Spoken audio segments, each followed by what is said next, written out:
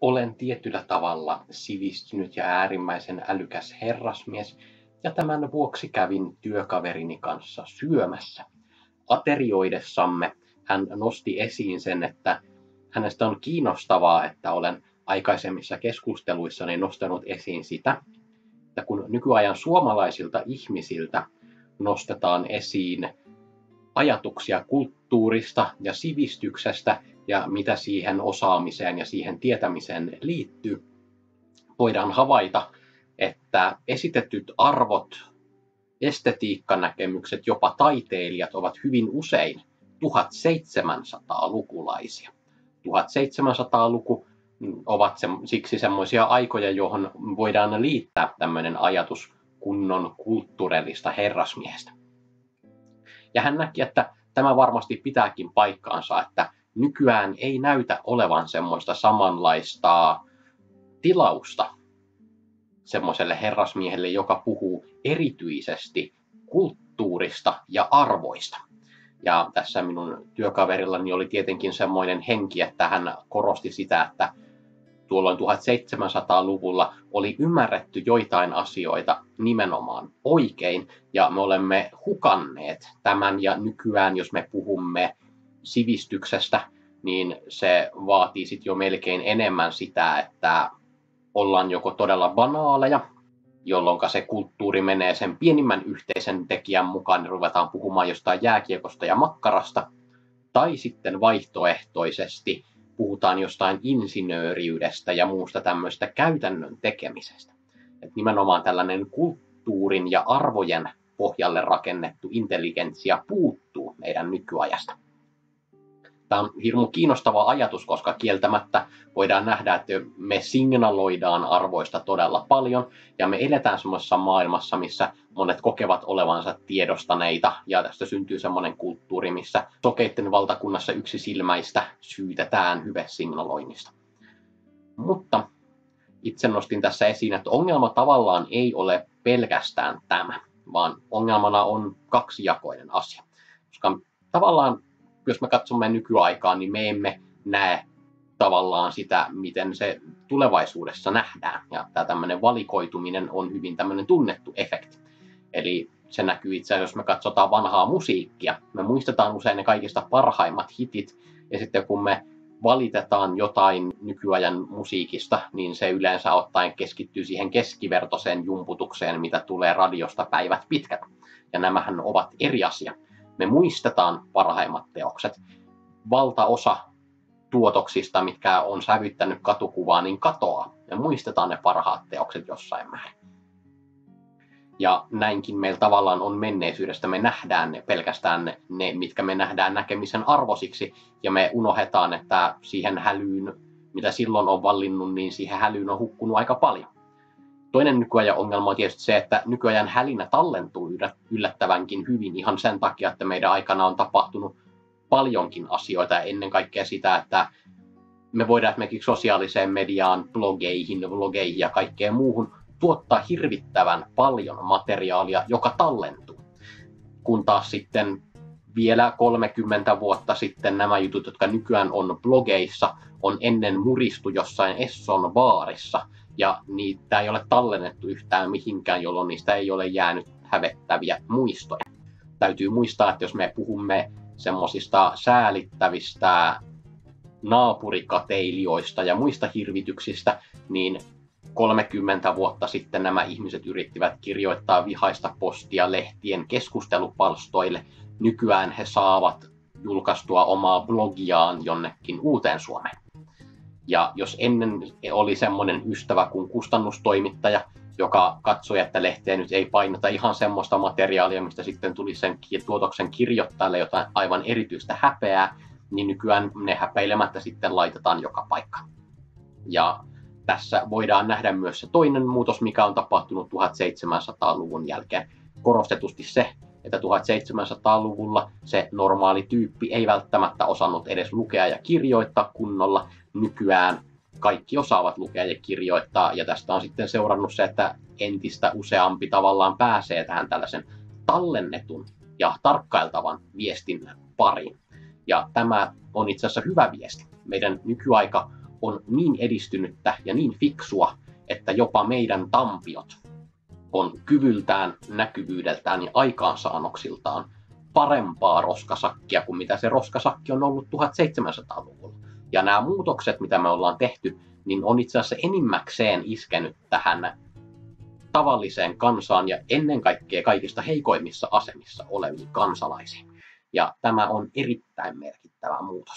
Ja tämä, mä haluan korostaa sitä, että tähän tavallaan liittyy älykkyys ja tavallaan ei.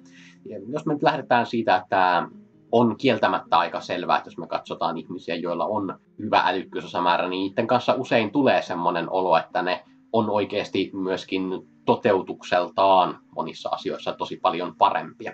Ja tässä on tavallaan semmoinen ajatus, että jos sulla on hyvä ohjelmointi siinä, että miten sä saat asioita vaikka muistiin tai käsittelyyn, niin mitä parempi sulla on se materiaali, niin sitä paremmat on myöskin ne tuotokset, mitä se tuottaa. Mutta sitten tietysti tässä on vähän semmoinen, että sä voit työllä korjata tätä jonkin verran ja tyhmäkin ihminen pystyy yllättäviin aikaansaannoksiin, kun näkee vaivaa. Mutta tähän on sitten pistettävä tämmöinen Edward Wilsonin konsilienssikirjassa mainitsema ajatus siitä, että oikeasti tämä ei ole pelkästään se, että älykkäät ihmiset vaan on niin paljon parempia, vaan se on se, että ihmiset tekee niitä asioita, missä ne on hyviä ja ne tekee niitä mielellään ja sitten ne harjaantuu tekemään näitä asioita. Eli pieni lähtötilanteessa oleva ero johtaa suuriin motivaatioeroihin. Ja tämä motivaatioero johtaa siihen, että ihmiset, jotka on älykkäitä mielellään, tekee töitä sen asian kanssa, mitkä johtaa siihen, että ne saa käyttää sitä niiden älykkyyttä. Ja sitten tietysti, jos olet huono liikunnassa, niin sitten sä mielellään vältät sitä liikuntaa. Ja sitten jos nämä kaksi asiaa osuu yhteen, niin sitten sulla on yhdenlainen ihmistereotyyppi. Tavallaan tämä on mun mielestä se pointti siinä, että minkä takia älykkyysosamäärällä on aika iso merkitys. Ja tämä on jotain, mikä on mun mielestä tosi relevanttia, koska tavallaan mä voin nähdä sen, että älykkyysosamäärällä tietysti on vaikutusta just sen takia, että mitä parempi ohjelmointi, niin sitä helpommin sulla syntyy asioita. Jos jokin asia tapahtuu helposti, niin se tapahtuu todennäköisesti, koska sulle ei tavallaan tarvii osua muita muuttujia siihen päälle lisää. Mä näkisin, että tämä älykkyssämäärä on tosi tärkeä asia nimenomaan sen takia, että se on tosi, tosi, tosi kulttuurista. Ja tässä mä en kiistä, että älykkyssämäärällä olisi biologinen komponentti, vaan mä korostan sitä, että kaikella, missä on perinnöllinen komponentti, niin on usein myöskin ympäristöllinen komponentti. Ja älykkyysosamäärän kohdalla tämä on selvästi nimenomaan näin. Ja alustukseksi voisin ottaa tämän Heini Kilpamäen suomalaisen tyhmyyden ylistyksen, missä on tämmöinen osio, jossa käsitellään nimenomaan sitä, että miten suomalaisia on ennen pidetty tosi tyhminä. Ja mä näen, että tässä on tosi vänkä pointti siinä, että ne on todennäköisesti on ollut tosi tyhmiä. Ja tässä on tavallaan just se, että kun sulla ei ole mahdollisuutta saada esimerkiksi tietoa, niin sitten ei, että sitä voi prosessoida, vaikka sulla olisi mikä tahansa mylly. Ja sitten mikä pahinta, älykkyysosamäärä on kulttuurinen sidottavissa ympäröiviin olosuhteisiin aika vahvasti. Ja tässä on tavallaan sama asia kuin ihmisen pituuden kanssa, eli geenit määrää ihmisen maksimipituuden. Mutta jos sulle annetaan tosi vähän ruokaa, niin sä et todellakaan kasva lähellekään sitä. Jos eletään sellaisessa ympäristössä, missä ruoka on tosi tosi tuurilla saatavissa olevaa, niin siitä seuraa se, että se ympäristö määrää vahvemmin sen, että minkä pituisia yksilöt on, jolloin se ympäristö on se määräävä asia siinä. Mä näen, että määrän kanssa on vähän sama juttu, eli ne ihmiset, jotka on saanut semmoisen sopivan kasvuympäristön, niin ne saa kehitettyä sen niiden aivotoiminnan siihen potentiaaliin, mikä niillä voi olla. Ja tästä sitten seuraa se, että tässä on tämmöinen kulttuurinen puoli hyvinkin määräävänä efektinä. Ja tämä on tosi tosi merkittävä asia, koska nykyään me puhutaan usein älykkyssämäärästä niin kuin jonain taivaasta annettuna lahjana, joka määrittää sut yksilönä ja sitten se määrittää sun potentiaalin yksilönä. Ja tavallaan se keskustelu menee niin pitkälle, että meillä on oikeasti joku Jordan Peterson selittämässä siitä, että jos sun älykkyysosamääräs on alle 83, niin sinulla ei ole mitään, mitä sä voisit tehdä esimerkiksi armeijassa. Sä oot niin tyhmä, että armeijakaan ei huoli sua. Ja Jordan Petersonin pointti tässä on vieläpä se, että tämä on hyvä vihje siitä, että on todennäköistä, että missään muuallakaan ei ole tarvetta tämän tyypin tampioille. Jos päästään Flynni-efektiin.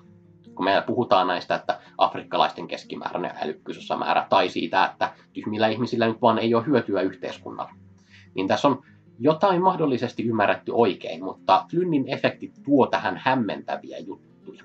Nimittäin älykkyysosamäärä on testeillä mitattava kellokäyrä, joka on kalibroitu siten, että sen keskiarvo on 100. Ja tämä kalibroiminen on todella tärkeä asia, koska sen testin kunnollisuus mitataan siinä, että se tuottaa sen tietyn keskiarvon ja sen tietyn hajonnan. Ja tämä tarkoittaa sitä, että älykkyystestejä on rukattu koko ajan. Ja Flynnin loistavin oivallus liittyy nimenomaan siihen, että kun hän rupesi tarkastelemaan tätä, niin hän huomasi, että älykkyysosamäärä oli keskimäärin pikkasen nousussa koko ajan. Ja mä oon tehnyt joitain omia arvioita, että paljonko se älykkyysosamäärä on menneenä aikoina ollut. Ja nyt mulla kävi vähän semmoinen tuuri, että sen jälkeen kun mä olin jutellut tämän mun työkaverin kanssa just tästä Flynnin älykkyysosamäärien kalibroinnista, ja mä sanoin, että mun pitäisi vielä tarkistaa niitä mun laskelmia, kun mä olin tehnyt ne vähän silleen vasemmalla kädellä, niin mulla tuli tieteen kuvalehti postilaatikosta. Ja tämä tieteen kuvalehti 15 per 2019 pitää sisällään artikkelin, jossa käsitellään nimenomaan tätä älykkyyden mittaamista. Ja täällä käsiteltiin nimenomaan sitä, että Flynn oli arvioinut sitä, että kun näitä älykkyysosamäärätestejä oli pitänyt rukata koko ajan, niin mitä se tarkoitti, kun se kalibrointi tavallaan poistetaan.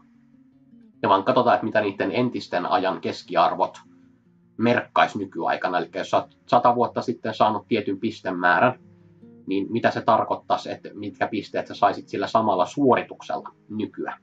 Ja täällä tuli vastaan se, että esimerkiksi Britanniassa vuonna 1942 testattujen sotilaiden keskimääräinen älykkyysosamäärä olisi vain 73 määritettynä vuoden 1992 vaatimuksilla. Mikä tarkoittaa sitä, että vuoden 1942 tasoinen kaveri on vuonna 1992 kelpoinen vain 73 älykkyysosamäärä. Ja tämän jälkeen me ruvetaan miettimään, että kappas vaan, mitä se Jordan Peterson sanoi siitä 80 ja vähän päälle älykkyysosamäärän rajasta. Onko oikeasti niin, että tuossa 40-50-luvun tyypit on niin tampioita, että heille ei nykymaailmassa olisi lainkaan sijaa. Eli ainoastaan keskivertoa huomattavasti lahjakkaammat tyypit pärjäisivät nykyajan systeemissä, että he voisivat edes toivoa saavansa työtä. Mä näen, että tässä on jotain hyvin hämärää, koska selkeästi me nähdään, että nykyään aika harva niin kuin pärjää todellakin, ja me voidaan huomata, että se matala määrä pätee silleen, että siinä on semmoisia tiettyjä liitoksia, mitä tämä Jordan Petersonkin esiin tuo. Mutta mä näkisin, että tässä on pakko kaivaa se Wilson esiin, koska tavallaan se suoritus on se sun kalkyyli ja sitten sulla on se lopputulos. Osittain siis tietysti meidän yhteiskunta on muuttunut kompleksisemmaksi ja monet tämmöiset mekaaniset työt, mitä aikaisemmin on tehty, niin kuin mennään metsätöihin. Ja nykyään tehdään koneella. Että se tarvii sellaista työmäärää siihen metsätöiden tekemiseen, mitä sä oot aikaisemmin tarvinnut, koska meillä on nykyään koneet ja laitteet tekemään sitä. Ja selkeästi tämä on nostanut sitä minimikompleksisuusrajaa, mikä vaaditaan, että susta ylipäätään on työelämää, koska sä nykyään ei enää ole sitä, että sä voit kaivaa ojaa tai mennä metsätöihin kaatamaan puita, koska nykyään se metsätyökin vaatii sen, että sä osaat käyttää jotain hiton laitetta. Ja tavallaan se, että sulla täytyy olla se prosessointikyky, ei enää siihen, että sä osaat kaataa sen puun ja sä jaksat raahata sitä puuta ja siirtää sitä ja tehdä sillä eri kommervenkkejä, vaan sun täytyy hallita se kone ja sen laitteen sen käyttäminen. Ja se on muuttunut siksi niin nollastandarditasoksi metsätöissä. Ja tämä sama on itse asiassa ihan kaikkialla. Ja tämähän on sinänsä vähän hankala juttu, että selkeästi näissä on jotain tämmöistä kognitiivista yhteyttä, joka on itselleni vähän nolo, koska mulla on ihan järkyttävän hidas reagointiaika, mikä on siis tosi sinänsä kiinnostavaa. Eli mä oon pelannut näitä siellä Quick Time Events-pelejä ja mähän pärjään niissä tosi huonosti ja se on kulminoitunut tässä nyt viime päivinä, kun mä oon sellaisia pelejä taas tupannut pelaamaan. Ja mä oon muutenkin tosi kömpelö kaikkien tällaisten laitteiden kanssa, että mulla tällainen motorinen älykkyys on tosi tosi tosi surkea ja mä oon miekkailinenkin vaan välttävä ja se johtuu just siitä, että mä voin tavallaan luottaa siihen reagoimiseen tai siihen, vaan mun pitää aina tehdä se ennakkosuunnitelma, jonka mä toteutan siinä. Eli mulla semmoinen jos mä rupean odottamaan, että se toinen rupeaa tekemään jotain ja reagoimaan siihen, niin mä oon kolme sekuntia myöhässä. Näin niin kuin karkeasti, en nyt oikeasti ihan kolme sekuntia, mutta hyvin paljon myöhässä. Ja tavallaan sillä toisella on joka tapauksessa niin kuin vähintään kolmanneksen nopeampi reagointiaika kuin mulla. Mun reaktioaikatestithän on aina ihan köppäsiä. Niin tavallaan siis, jos mä rupean ale, alistumaan siihen, että mä pelaan mun reaktioajalla sen toisen reaktioaikaa vastaan, niin mä häviän aina jolloin mä en tietysti myöskään harjannut siinä reaktioajassa. Ja mä en tykkää niitä Quick Time Events-pelejäkään pelata, koska mä tarviin niihin koko ajan apua. Että se on aina sitten mun puoliso joutuu näveltämään niitä, kun mulle ei reaktioaika riitä.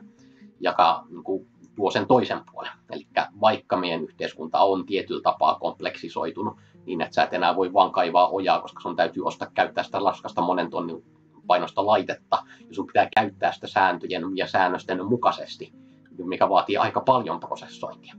Niin sen lisäksi meillä on siis mukana myöskin se, että entisajan ihmiset on ollut semmoisia, että jos se keskiarvo on ollut se 73, jos se on ollut 83, niin sä oot pitänyt ittees fiksuna. Ja sit sä oot toiminut sen mukaan ja sit sä oot hankkinut siihen liittyviä taitoja. Ja se taito, mikä tulee harjoituksella, painaa hyvin usein enemmän. Eli mäkin on ihan välttävä miekkamies, vaikka mä oon motorisesti ihan ääliö. Se tavallaan korostaa just sen, että tavallaan tämä älykkyysmäärän rajaaminen tällä Jordan Peterson-strategialla on mitä ilmeisemmin jossain pielessä, koska selkeästi 1942 yhteiskunta oli toimintakykyinen ja siellä oli ihmiset aika laajasti töissä, joten selvästi tämä älykkyysmäärän raja ei ole niin tämmöinen vammaisdiskurssiin tunkeva juttu, minä se niin kuin helposti kuvataan usein. Ja sen takia tämä tämmöinen harjaantuminen asioihin painaakin suhteellisen paljon erinäköisissä vaikutteissa. Tosin siis mun on sanottava, että kyllä sillä älykkyssä määrällä aika paljon tekee silloin, kun tähtää sinne tosi korkealle. Eli mä näen, että tästä normaali suoritustaso on yksi. Ja sitten jos me ruvetaan puhumaan huippusijoituksista, niin tämä näkyy esimerkiksi urheilussa, että jos sä haluat olla hyvä urheilussa, niin sun täytyy vaan mennä juokseen joka päivä. Mutta jos sä haluat voittaa kultaa olympialaisissa, niin sulla pitää olla sen lisäksi semmoinen perimä, että se sopii just siihen lajiin, mitä sä lähdet harrastamaan. Että susta voi tulla huippu just siinä, niin sulla täytyy olla myös se geneettinen etumatka. Just sen takia, että näissä systeemeissä pelataan niin tiukalla, että mikä tahansa etu, minkä sä saat, on tärkeä etu. Ja kun kaikki harjoittelee sillä tasolla että maksimaalisesti ja mahdollisimman ahkerasti, niin se kaikki loppu, se mikä määrää sen viimeisen pärjäämisen niissä kisoissa, nimenomaan näiden kaltaisten supermestarien kesken, on nimenomaan se, että mihin sä oot sattunut syntymään. Ja tämän lopputulos on tavallaan se, että jos mut pistetään jonkun Immanuel Kantin viereen, niin todennäköisesti systeemi on nimenomaan se, että Immanuel Kant ja kaikki muut sen ajan parhaat on todennäköisesti eläneet semmoisen elämän, että ne on saanut sen niiden aivomassan toimimaan. Ne on lisäksi myöskin harjoittaneet sen maksimaalisesti. Tämä tarkoittaa sitä, että ne varmasti vertautuu älyllisesti suunnilleen samalle tasolle kuin ne parhaat nykyaikaiset. Flynnin efekti ei tulekaan siitä, että erinomaiset tyypit olisi vaikka 30 älykkyysosamääräpistettä isompi kuin aikaisemmin, vaan se tulee nimenomaan siitä, että jos meillä esimerkiksi tämä tota, kilpirauhasen ylikasvu on semmoinen, että se struuma laskee älykkyysosamäärää tosi tosi tosi paljon, niin tämmöiset saadaan pois ihan vaan sillä, että sä saat jodin ravinnosta. Ja sitten jos sä oot aliravittu, niin se vaikuttaa aika dramaattisesti sun keskimääräiseen älykkyysosamäärään. Joten nyt kun meillä ei enää ole nälkävuosia ja yhteiskunta ei päätä, että on tärkeämpää suojella kansalaisten hyveellisyyttä, vaan niille on tärkeää varmistaa se riittävä ravinnon saanti, niin meillä tavallaan se tyhmäistö on todella, todella paljon fiksumpaa kuin mitä se on ollut esimerkiksi sata vuotta sitten. Eli tämä tavallaan tämä suomalaisen tyhmyyden ylistys on saattanut olla menneisyydessä ihan fiksu juttu. Ne on, on niin nähty ihan konkreettisesti, että, että ne on tosi tyhmiä eikä ne osaakaan mitään. Mutta nykyään, no, ne on yhä edelleen noloja ja ne aikaan saa hirveätä kringeä, koska ne ei osaa ihan hirveästi mitään. Mutta kyllä ne luku- ja kirjoitustaitoisia kaikki on.